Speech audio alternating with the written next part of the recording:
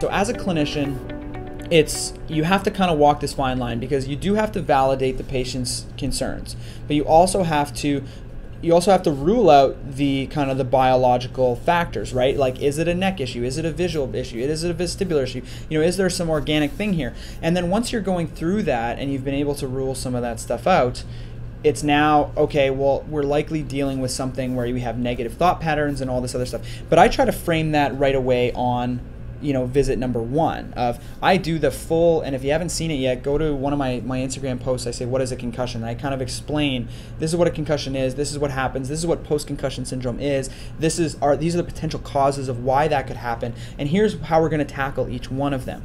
Just having that education and knowing that yes it's a temporary injury and there's some things that can cause you know long-term effects makes people feel a little bit more at ease and being able to kind of you know lower that down uh, working with beliefs and expectations. Given the lay public's view of concussion symptoms as more functionally limiting and persistent than what has been demonstrated in research studies, careful elicitation of patients' expectation regarding concussion recovery may be a useful starting point in a given clinical encounter. False beliefs should be carefully corrected. Framing may be important as well.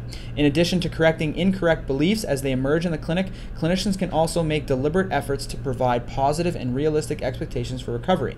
In support of this effort, the literature regarding support and positive expectation setting following acute concussion has, on the whole, been favorable. In these studies, clinicians offered emotional support and provided reassurance that the symptoms are generally benign and temporary shortly after presentation to the emergency department, resulting in reduced symptom burden, decreased anxiety, and improved functional outcomes as compared with standard care. Um, even focusing on the symptoms. I know we do this a lot in our clinics. We ask the symptom scale, right? Rate each of these symptoms on a zero to six scale. And we do this every day, right? And, you know, but we don't do it in the patients that have some of this stuff going on because constantly reminding them of the potential symptoms, they go, headache? Oh, yeah, yeah, yeah, I do have a headache and it's a reminder of it being there. They suggest a better way to do it for these patients that may have be presenting with some of these more psychogenic um, types of things to say what symptoms are you experiencing and let them come up with the descriptor to describe what they're feeling. Because if you lay it out there fatigue i'm tired right now right? I had a shit sleep. So does that mean i have a concussion? No like it happens day to day right? So but reminding them of the potential symptoms and causes keeps it top of mind and they look for it. So we have to we have to be careful with that as well